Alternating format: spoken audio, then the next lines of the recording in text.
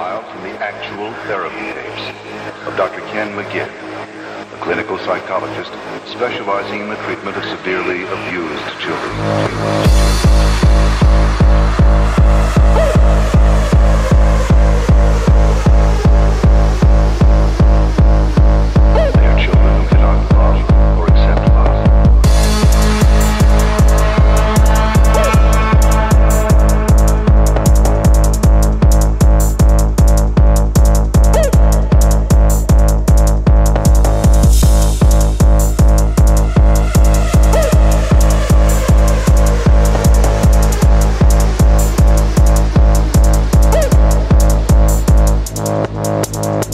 Thank you.